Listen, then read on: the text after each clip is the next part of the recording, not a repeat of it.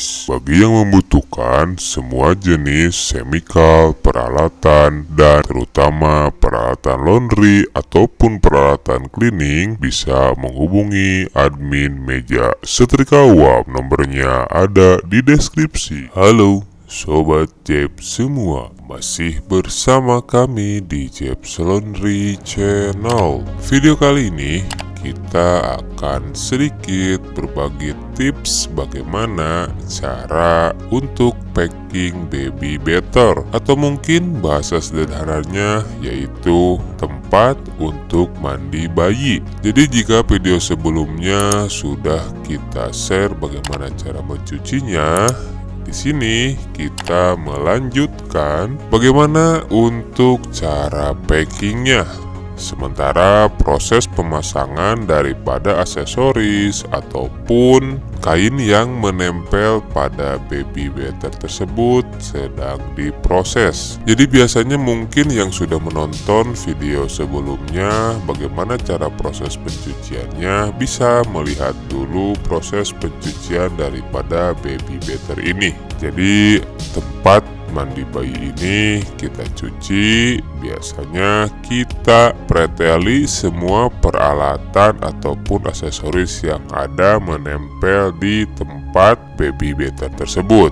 Kenapa demikian? Untuk mempermudah dalam proses pencuciannya. Karena jenis baby better seperti ini tentunya tidak bisa masuk ke mesin cuci. Maka dari itu Langkah yang paling tepat kita bongkar tentunya.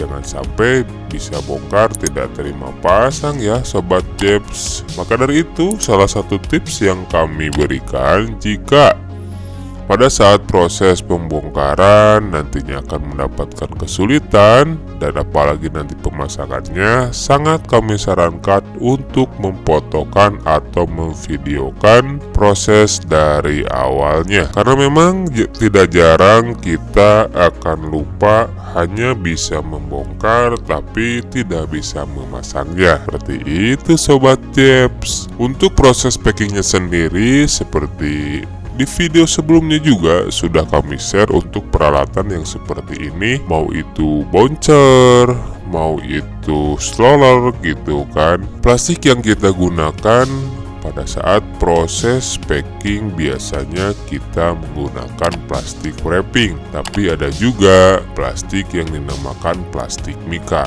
Yaitu kembali ke sobat Jeb semua mau menggunakan yang mana itu terserah. Tapi kami lebih nyaman menggunakan yang namanya plastik wrapping Karena bisa menyesuaikan daripada bentuk dan ukuran daripada alat ataupun barang yang akan kita packing dan hasilnya juga akan lebih terlihat bagus. Di next video kita akan sedikit share juga bagaimana cara untuk mempacking barang yang muncul di video sebelah kiri yaitu apa ya ayunan bayi atau apa mungkin bahasa sederhananya. Nanti kita bikinkan juga cara packingnya ya sobat Jeps. Untuk informasi harga jika sejenis baby better ataupun alat atau tempat mandi bayi jika di kami estimasi harganya hanya di 10.000 sampai dengan 20.000 rupiah. Lebih tergantung ke jenis dan ukuran mungkin ya daripada baby better tersebut.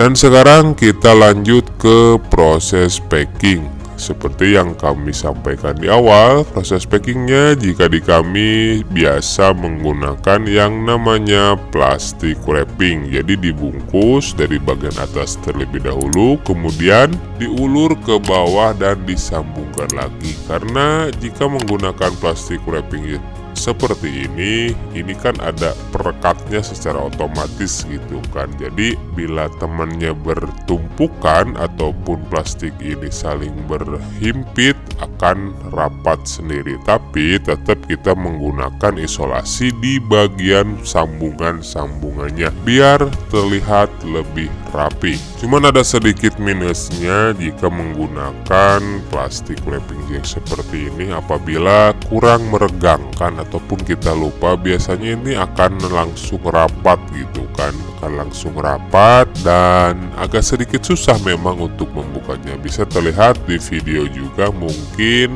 untuk membereskannya kita perlu mengurut satu persatu daripada pinggir-pinggir plastik wrapping tersebut. Jadi untuk warga masyarakat Ciamis ataupun para penonton sekalian yang memang lokasinya berdomisili di daerah Ciamis dan sekitarnya silahkan yang memerlukan jasa laundry atau apa pun itu, mau itu sofa, spring bed, dan peralatan lainnya bisa langsung menghubungi admin daripada Jeps Laundry Ciamis.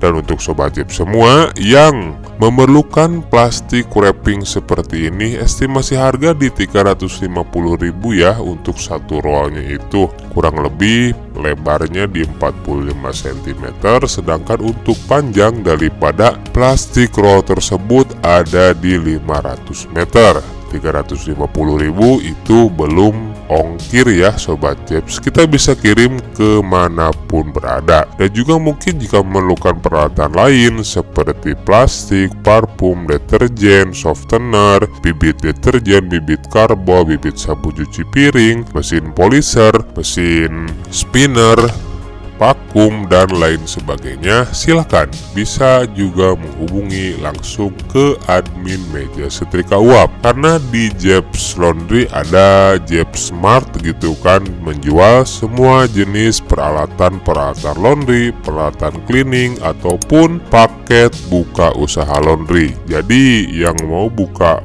usaha laundry juga silahkan. Mau itu paket buka usaha laundry kiloan mau itu paket buka usaha laundry karpet sepatu dan lain sebagainya bisa juga kita bantu. Nomornya ada di deskripsi juga tetap bisa menghubungi ke admin meja setrika uap